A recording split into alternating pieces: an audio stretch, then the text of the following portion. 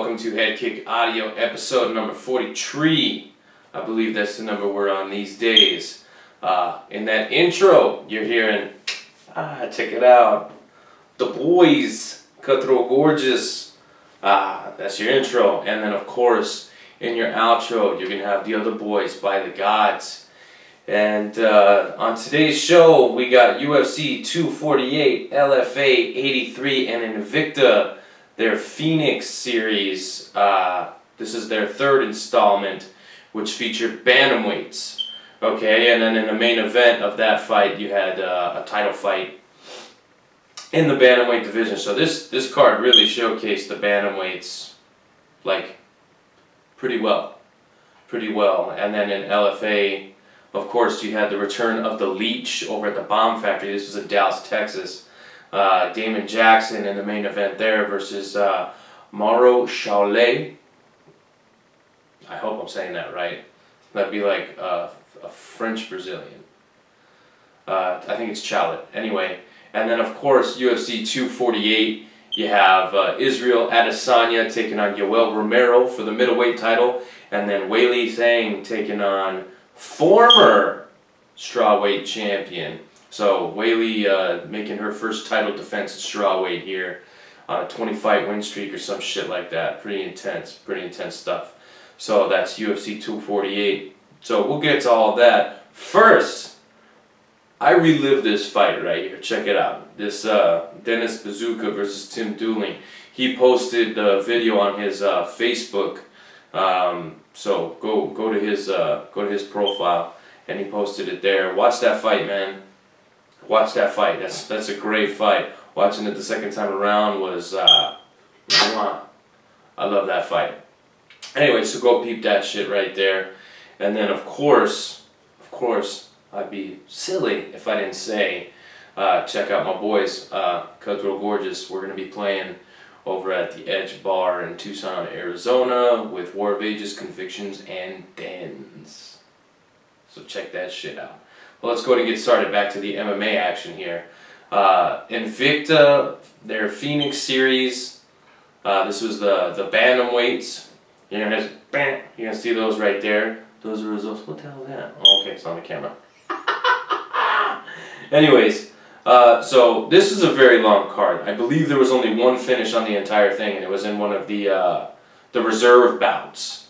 Okay, this was they had a couple reserve bouts in case one of the girls in the main tournament was unable to continue. They have uh, some reserved fighters that still had to compete in a five round, uh, a five round, a five minute round.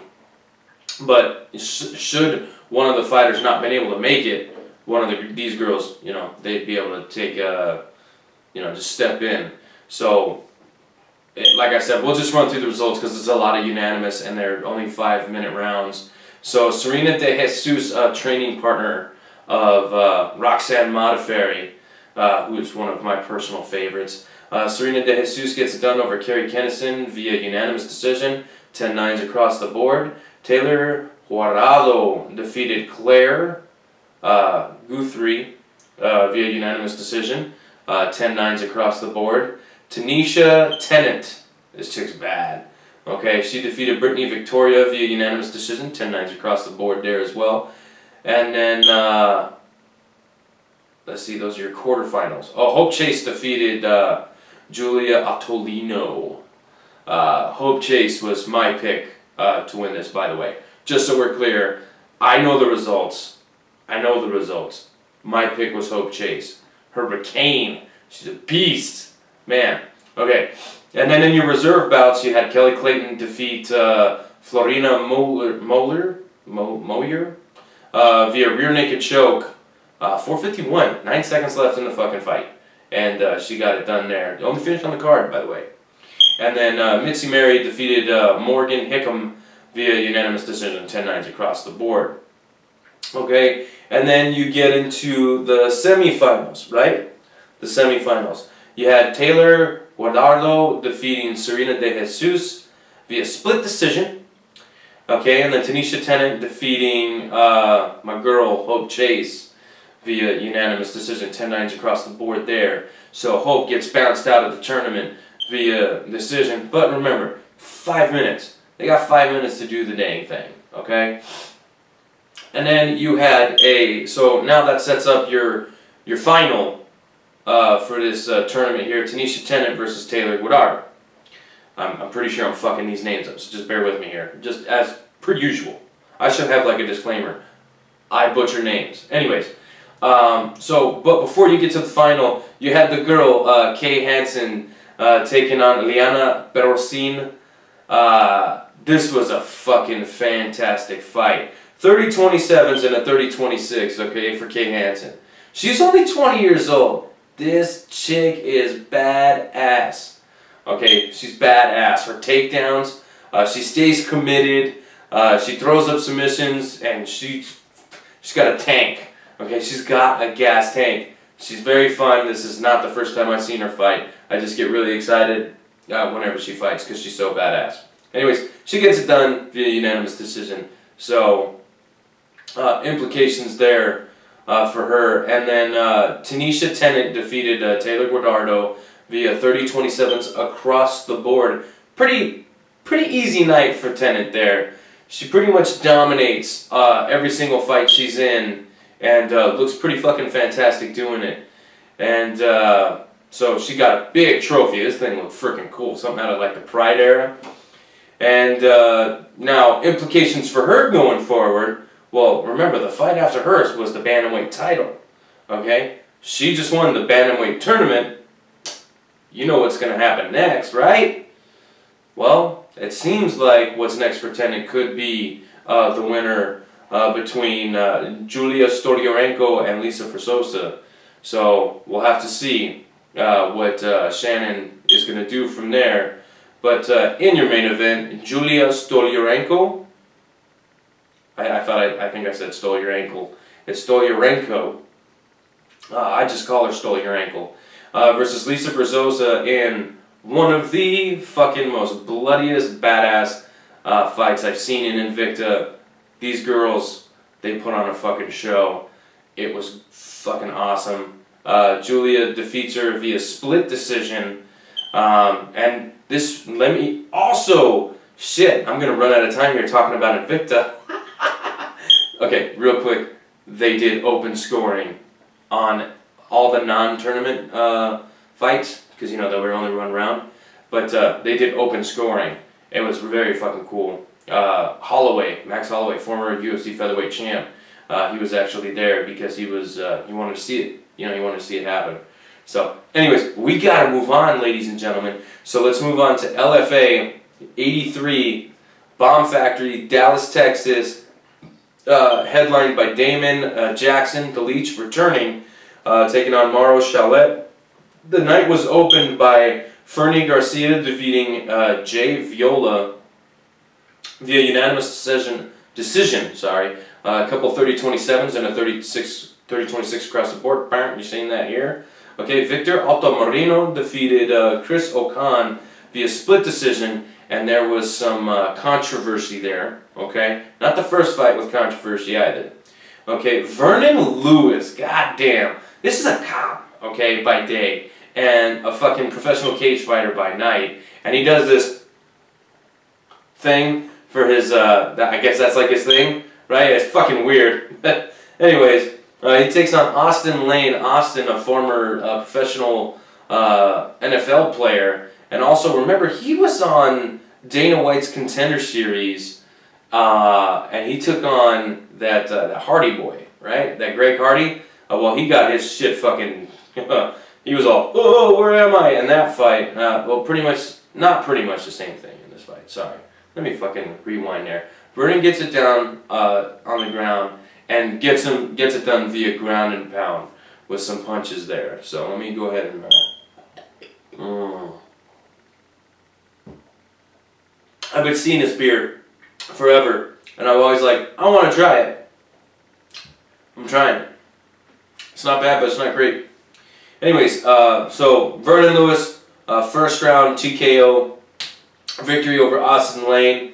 Um, again, with a weird celebration thing. I'm not even entirely sure what that. Maybe he's hungry for more. Huh? Huh? Anyways, uh, he's now on a win streak. I think he's won two straight. Haley uh, All Hail Cowan uh, defeated Brittany Cloudy via split decision. And look, this is a great fight. Okay, this really showed a Cloudy is very, very good despite her now two and two record, I believe. Okay, she's very long, very athletic, very strong. I want to see this chick fight again. But look, the judges decided that Cowan got it done by the narrowest of margins here, and she got tested. She got tested. She says, you know, she fell flat. We don't know what's going on. Armrests. That's what I need. I need something to lean on. So, uh, yeah. Anyways, not the greatest performance from from Cowan. Um, she, but she definitely got tested. So this is good for her early in her career. Get this shit out of the way. Get these tests out of the way. You don't need to be having these, you know, later on down the road. You don't want it to be easy. You want it to be difficult. Well, fucking Cloudy made it difficult. Okay? Uh, in your co-main event. Now, I interviewed Justin Patterson. And he was cutting weight while we were talking. Okay? And I don't want to say, like, I just, I don't think I'm going to do that again. I, I, I don't think I'm going to do that again. Uh, it's just, I think, like, for me, it's like, what if I took his focus away? I don't want to fucking do that to anybody. So I don't think I'm going to do that shit again. Um, but uh, he took on undefeated Matt Dixon. Uh, and Matt Dixon got it done uh, 30 27s across the board. Bullshit. But you know, the fight was way closer than uh, 30-27s across the board. Uh, I don't know about that. I don't know about that. I thought Patterson uh, definitely had the first round, and the other two rounds were pretty close. Dixon was getting it done with takedowns, but he wasn't doing shit with them. Okay? He wasn't doing anything with the takedowns. So, I just, I don't know, man. I don't know. And again, uh, with the broadcast, this is actually Pat Miletich. He Pat Patterson was gonna you know walk away with the the decision here. Um, now I don't know if that's you know uh, due to home cooking, not like you know saying that they were in on it, but you know they're in Texas. Yeah. Anyways, what I'm trying to say is I don't fucking agree with the decision. I'm not saying that the wrong or right guy won, but 30-27 is fucking stupid. How about that? How about that? Because it was a close fight. And I did feel at the end like, eh, you know what, maybe Patterson didn't do enough. Okay? And whenever I feel that way, I'm not going to really uh, criticize, you know, who won uh, too bad. But 30-27s, get the fuck out of here. Okay? Get the fuck out of here. Well, your main event didn't need the fucking judges. Because Damon Jackson's only been in the fucking scorecards twice. Okay? He's got a knack of finishing fights. Uh, usually on the ground, which is where this fight ended. But not before he fucking knocked around Mauro Chaulet uh, in the first couple minutes, okay? He knocked the boy around and then got it to where he was comfortable, okay? But I'm telling you, if they said, nah, he's got to stand back up and you got to fucking, you know, kickbox with this fool, Damon was looking good, man. Damon was looking good. So hopefully we can get him back on. Uh, you know, this time coming off of a, a, a win.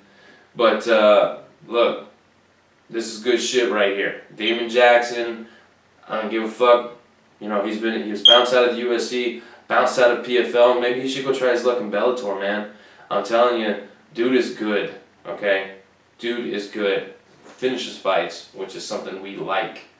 Okay, now we've got about 15 minutes here to talk about the UFC. So I'm to run through it as best as I can, but cover as much as I can. But I'm going to start from the top this time because I'm tired of not giving the main event enough time because I'm usually fucking trying to, you know, speed through it just to get through it. So we keep this show at a half hour. But look, your main event, they laid an egg, man. This fight was a snoozer. It was a bummer. I was watching I was excited, but the consensus is is that Israel Adesanya defeating Yoel Romero via unanimous decision. A, I don't know about the decision. Okay, I'm telling you, I may have been saucy, but I thought Yoel was going to be named your new champ. Okay? Now, this whole you got to take it from the champ to be the champ, I don't know about that. Okay? I don't know about that frame of thinking. And look, one of my fucking uh, favorite guys, Dominick Cruz, he says that. If you want to beat the champ, you gotta take it from the champ. Now look, I'm not saying that there's anything wrong with that way of thinking. I just don't think that way. And I thought here, maybe Yoel had done enough. I'm not a fucking judge, okay, nor do I claim to be. I thought, hey, Yoel's probably going to walk away with this. And he didn't. And was I upset? No. I was upset at the fight, you know, because the only exciting uh, moments in the fights was when Yoel would explode. You know what I mean? That shit was exciting.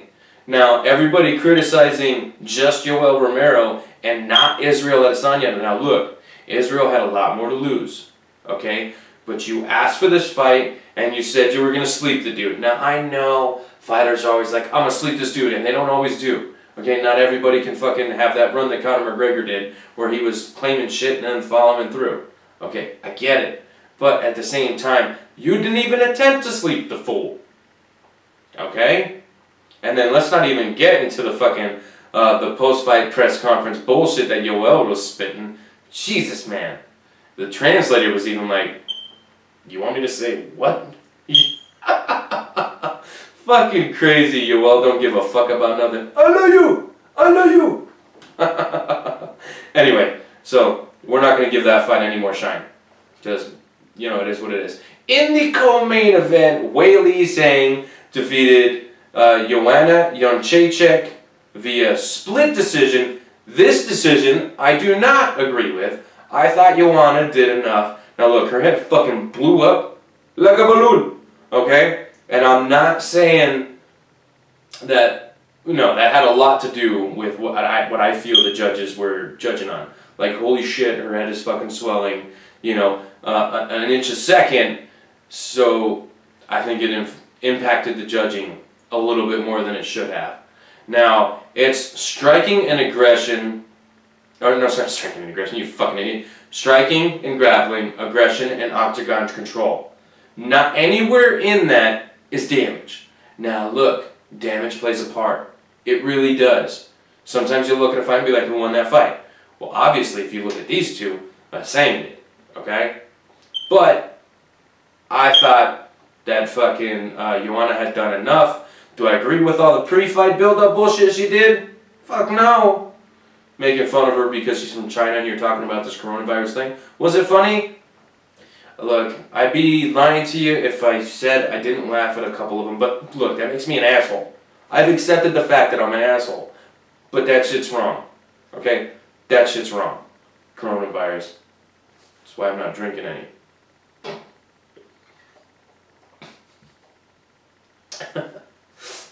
Uh, the listeners, the, the audio side, they couldn't see that. It's probably a good thing.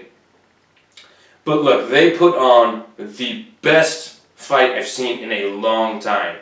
Okay? It was technical from start to finish. These chicks put everything on the fucking line. Look at Joanna's head afterwards. Okay? Look at Joanna's head afterwards. Like, that is just absolutely insane. Okay? Absolutely insane. These girls deserve, uh, I don't think you can pay them for what they did in there. Okay, I don't think you could pay, like, there is not enough money in the world that, well, I mean, there probably is. But, look, man, that shit was good. Now, a lot of people are fucking, you know, like, oh, it wasn't just the best woman's fight ever, it was the best fight ever. Look, the fight was pretty fucking good. Okay? And if you want to break it down sex-wise, yes, that is the best women's fight I've ever seen. You want to break it down non-sex wise, it's fucking up there. Okay, because that fight was badass. Was it the greatest ever? I don't know. I can't give you that answer right now. I'd have to go back and watch all the fights that I think were the greatest ever. There's like, you know, it's solid, like, two handfuls. That's probably the wrong gesture. But look, there's probably like 10, 10 good fights that could contend for the greatest fight of all time. There's probably more than 10. If you want to go multi, uh, organizations, I mean, fuck. It's a lot. Anyway, fucking hands down, you know it, these chicks got fight of the night. Okay? You know they did. If they didn't, Dana White's fucking fired. I fired him. Oh, wait, they got fight of the night. Okay, you can have your job back, Dana. I don't want it. I don't want it. I'm doing pretty good here today. Hey, kick audio. Fucking liar. Anyway, uh, so yeah, dope ass fight. Uh, everybody was on their fucking feet, um, except for Cejudo. Oh, he might have been, but you know he was only as tall as the guys that were still sitting. Um, that's that's so fucked up. That's so fucked up. I'm a short guy, so I can say it. Okay. Anyway, um, yeah, it was a great fight. We were standing. Me and my buddy Nesto, he came over. It was good times, man. Good time. He fucking had a toothache, and he was still fucking jamming with me. It's good shit, Nesto. You my boy. Anyway, the fight before that, you had Beneil Dariush taking on Drakkar Klose. Now, I watched a couple interviews with Klose. okay? Not with clothes. I mean, I was wearing clothes because that'd be weird if I was watching Drakkar Klose videos without clothes. That'd be very fucking strange. Like, just Drakkar Klose, not all fighter interviews. Anyway, let's not get into fucking weird, like, I'm, I'm always wearing clothes, okay? Even I sleep in my underwear. I don't even sleep naked. The only time I'm naked is in the shower. I bone with my socks on. Get over it. Anyways, uh, but Klose was like, you know, doing things differently. And he was seeing a sports psychologist and he was talking about like how he used to go in there like aggressive and he had to hate his opponent and yada yada yada. And I was just like, you know, this is a very responsible and mature approach to cage fighting. Now, Dariush didn't give a fuck about that, did he? Because he fucking knocked out Drakkar Klose in the first round, or sorry, second round. Second round. The first round, he was a backpack. He said, backpack, backpack. You remember Dora? Anyway, second round, a minute in, Klose rocks Dariush. Dariush comes right back and puts him on chicken legs. Okay? And then they're exchanging while closest walking backwards, and then boom! Mouthpiece goes, like it was trying to hook him. You know what I mean? And look, props to Dariush for not following up. He could have followed up and he didn't. Fucking his spec, man. Fucking his spec. And you know that shit got a performance bonus. I think it did. We'll find out here in a minute. I think it was. I think it was uh, Zhang uh, for uh, the fight of the night and the performance bonuses was Dariush, and we'll get to the next one. Okay, but yeah, Dariush says he wants a quick turnaround, but after he ties the knot with his significant other. So, excuse me, uh, hopefully the UFC can uh, grant those wishes. Dariush, man, when this guy's on, this guy's fucking on. He's got to win over Dober. Okay, you know I'm a, I'm a Dober fan. I, I was to say like a Doberian or something like that. I don't fucking know. Anyway, um, so I'm pretty excited about Dariush. Klose is a tough son of a gun. Okay, he trains out of the lab over here in Arizona. And you know how us fucking homers are, okay? Okay? We fucking tend to be homies. Anyway. Uh, Neil Magny coming off of a suspension, a, a, long layoff, I think it was like a couple years. Um, don't quote me on the time. Okay, I just haven't seen the guy in a while. He defeated Li Jingliang via unanimous decision, 30-27 across the board, uh, saying, Hey ring rust, fuck you. Hey USADA, fuck you. he looked badass. Dude's not getting enough credit uh, for the performance that he put through on this card. We might go a little bit over, so just bear with me here. Uh, Alex Oliveira defeated Max Griffin via split decision. I didn't agree with it. Just going to put that out there. I thought Max Griffin did enough with uh, his takedowns. It was a bloody affair, but uh, I don't know. I just, I thought Max had won the fight. In your main prelim, your prelim main event, sorry, uh, Sean O'Malley defeated Jose Quinonez via TKO in round one, two, oh, two. Another guy that trains out at the lab. Uh, he got your uh, third bonus, okay? He was the second uh, performance of the night, along with uh, your your girls uh, Zhang and uh, Jędrzejczyk taking fight of the night, and Dariush taking performance bonus. So again, Sean, just like Neil, long layoff. Fuck you, ring rest. Fuck you, USADA. Okay. Right after the fight, he's like, Ooh. you know what I'm saying? Mm-hmm. Mark Madsen defeated Austin Hubbard via unanimous decision, 29-28 across the board. He got tested in that third round. Hubbard could have finished him. I believe that. But Madsen is a fucking gamer. Okay? That was cool to see. Mark is an Olympian, and he was dealing with some injuries. Look, no one comes in 100%. I tweeted that shit. You know what I mean? But hey, props to him for fucking making the fight and getting it done. I might sneeze. I don't know. Rodolfo Vieira defeated Safarov via a triangle choke in the first round. He was not going to see the second round. No pun intended. His his eye was swelled shut. Okay, they, they weren't going to let him into the fucking second round. He had to finish the fight, and he did what he had to do. So good for him, uh, getting it done in round one. Gerald Meerschaert. This was a good fight. Now it was very slow paced. Uh, these guys were knocking each other around all over the goddamn cage. There was a little bit of bad blood coming in here. Uh, Deron Winn made weight this time and uh, was looking pretty good. Look, the guy is as short as I am, and he fights at middleweight. I don't even weigh 185 pounds anymore. I might, but that's besides the point. Like, dude is not built for middleweight. Okay, he's not built for middleweight. Not even welter. Look, let's put this uh, to put it in perspective. Alex Volkanovski is 5'6". I am 5'6". Okay. I'm just a fucking dickhead that hosts a fucking podcast. Alex Volkanovski is a featherweight champion.